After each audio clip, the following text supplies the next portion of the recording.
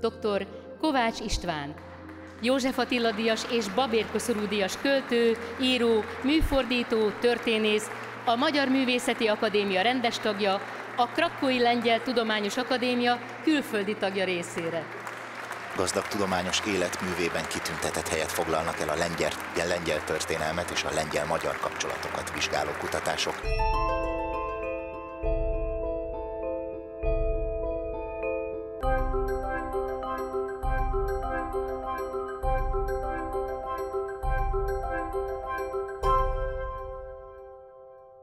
Szerelem, reménytelen szerelem, vagy a szerelem, a szerelem ideájába való szerelem, az, az tett költővé.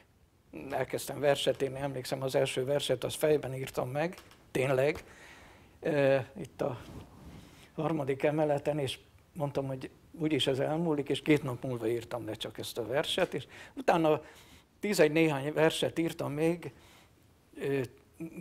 és titokban megmutattam Kósának és Kósa Laci azt mondta, hogy ő nem ért a versekhez, hanem van itt egy irodalom történész ismerőse az intézetben, aki nagyon szigorú ítész, több kollégiumi költőt lebeszélt a versírásról. Ez Kis Ferenc volt. Odaadtam Kis Ferencnek, eldől a sorsom, és kaptam egy levelet egy hét múlva Kis Ferencről, visszafogottan, tárgyszerűen megdicsérte a verseket, és biztatott. Oda rohantam Kósa Lacihoz, és megmutattam ezt a levelet, és azt mondta Laci, a többieknek nem nagyon mutogasd a, szobály, a szobában, mert éppen sebeiket nyalogatják Kis Ferenc levele, mi, levele miatt. Maros Szent Imrei templom építését, vagy megújítását, rendbehozását Hunyadi Jánosnak tulajdonítják, aki a Szebeni csatában aratott győzelmének a tiszteletére itt a környéken több templomot épített, illetve rendbe hozatott. Tizen vagyunk. Ez a gyülekezet. A tizenegyedik maga a pap. De énekelünk mi százak helyett, hogy zeng belé a por s a vakolat. Maros Szent Imrét Jékeli Zoltánnak a Maros Szent Imrei templomban című verse emelte a, a az irodalmi köztudatba, de talán azt is mondhatnám, hogy a köztudatba.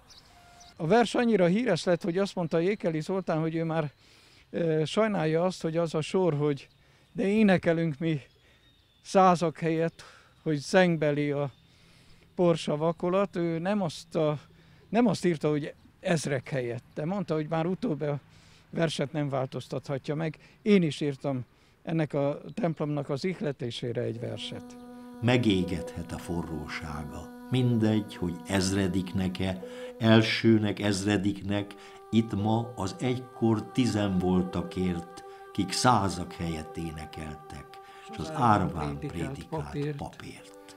Pelikán, Pelikán éhestél jöhet még, és cserben hagyhat is az Úr.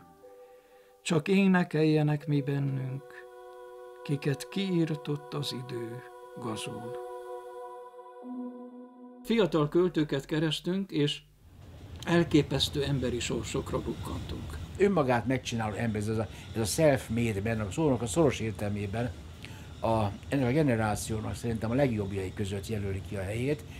Ebben nagyon is sok minden eseményet teli, sok minden megrontó elemet teli irodalmi életben is az ő szerepét egy kivételes emberét teszi, de nála konzekvensebben, csöndesebben, hitelesebben tisztában beszélő embert én hát keveset ismerek ebből a korosztályunkból is, meg, a, meg a, abból a közegből, amiben politika, kül, akár külpolitika, politika, irodalom, írói emlékezés úgy egybeáll. Lehet, hogy ez, ez egy, egyébként a lustaságomból is fakad, hogy olyan verset kell írni, ami az embert megrendíti, így aztán rendkívül kevés verset írok és néha ez már pánikba, pánik, pánikot is vált ki belőlem, mert ahogy összeszámoltam, minden tíz évben jelenik meg egy-egy új verses kötetem, egy vékonyka kötet, és hát most már lassan belelépek a 75 és ahogy számolom, most már